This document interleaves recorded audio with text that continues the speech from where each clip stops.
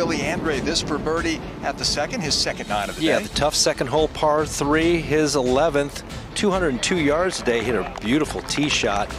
Hey, when it's your day, you're it's your day, Cookie. How about a 50-footer for par at seven? For par at seven. Tough hole to start with and left of the green. Didn't have... Last week's runner-up, Bernhard Langer, denied by Y.E. Yang in a playoff in St. Louis. Two over for the round today. Just off the right side of the green on this par five. Playing back into the wind today and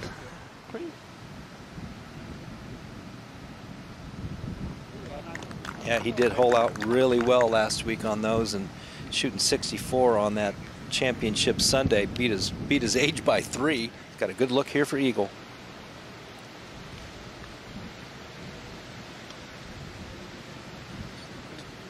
Slides off to the right, but good effort. It was a heel shafted putter all my life and had gone to a face balance. It took me a little while. Once you once you get it, it does feel pretty good, but it, it's uh, it, it is a, a little bit of an adjustment. Richard Green to dip into red numbers here. Yeah, we're going to see a little bit of this today at the 15th, playing straight downwind. If you negotiate the little fairway bunkers, you can get it on this green. Now, it, it does play 368 yards, but uh, he got through the green on that backside, and what a great can play up to 490 yards. They moved the tee up a deck. 444 today. Get on the proper level. That is a wonderful golf shot on a tough hole. His first week out after that Achilles surgery, he was about 30%. So he's improving, but he's nowhere near 100%. And what a delightful second shot his approach there, the 13th. First birdie of the day at the tough 13th comes from 67-year-old Bernhard Langer. I'll make that eagle at the drivable 15th. And a sprint to the finish there for Richard Green. For birdie here at 16, or 17 rather. Even par for the day. Hit a nice tee shot in there. Capitalizes. Back at 16, the par 5 and the green light for Miguel. Good tee shot up the left-hand side. Now has to put some air under this, which he does. That's perfectly right there and rolls out just past the flagstick, but a nice, nice effort there for Jimenez. Jimenez aboard in two, and a chance for an eagle at 16. See if he can get one to go. Oh, you're testing his patience. Three putt par back at 15, but a two putt birdie there at 16. That's what you have to do. And the second coming up for Frazar here at the home hole. Yeah, as far as he hits it, I'm sure he got it down there really close, down in that little valley. And a great pitch shot up the slope. Well done. Up to 18, and Harrison Frazar to cap off his opening round with three in a row. After that nice tee shot just short of the green. Nice pitch to there and a good finish. Little run to the house for Harrison Frazar. I think at this point he's curious too. yes. You know he can smash it. This is on an even better line. Yeah, if it's a little more right than Steve Stricker's. Looks like it might do the same thing if it gets through. It just off the edge. What a shot. This will get even better. That's uh, Golf shot there for Darren. It says plus five on the scorecard. and he hits. This does have a little bit of movement. Yes, indeed. Been putting through a shadow to boot. No, it didn't take the right hand break. It got he got the first part right. Uh, when you're five over, that's the kind of thing that happens. Elevates these things very quickly. Like that. Just throws that right hand under, hit the hole, ah, didn't hit the flagstick. Yeah, just a whole different setup for him with the face balance putter, bigger grip, longer club. Gripping down on it, but starting to get the get the feel. If he gets the feel and starts running tables, we know what he can do. Yay. Not much to this. Not much to that. This guy fill it up? Three runner-up finishes this season. It says plus four next to his name. That's kind of hard to believe. He did have a bit of a struggle from 9 through 13. This is towering and landed right at the front of the green, just like he wanted it to.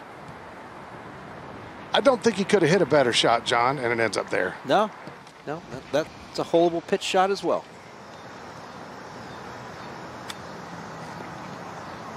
Boy, he had a Wow. little bit of check on that. So he slid that club under the ball, used the grooves to kind of slow it down. Really nicely done. He'll just tap in with the sand wedge.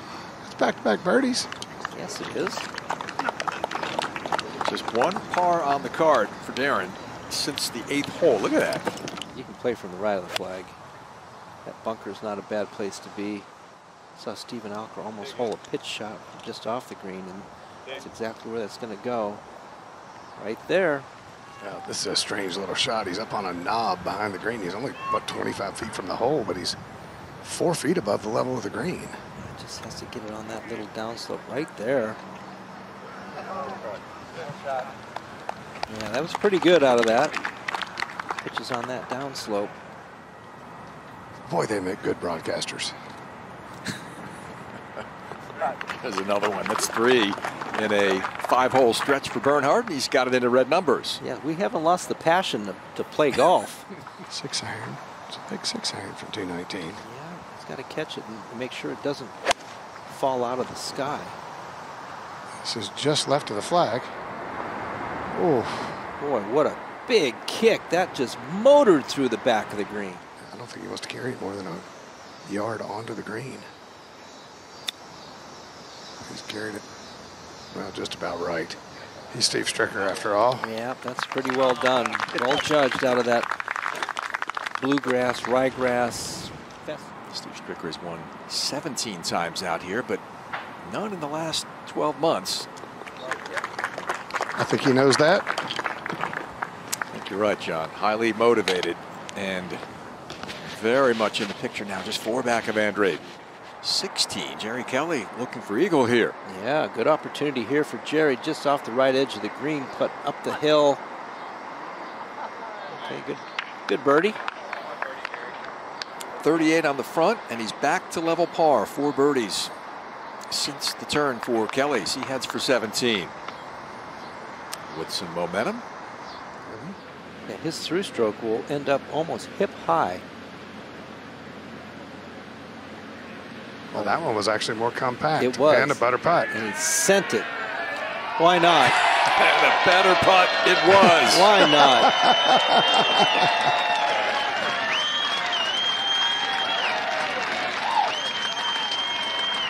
The stroke was true and pure. Well, it's rare to see this much separation. I mean, only six times in the history of the Champions Tour has anyone built a lead of five shots. That's the largest first round lead we've ever seen in more than 40 years of Champions Tour golf. So Andrade, with that 63, will have Steve Stricker's company on day two.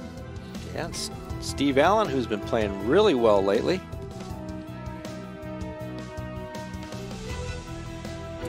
Just a dozen players in red numbers on a plus three opening round here in Sioux Falls, South Dakota. 22nd event of the season, only three more in the regular season once we conclude our business here in South Dakota.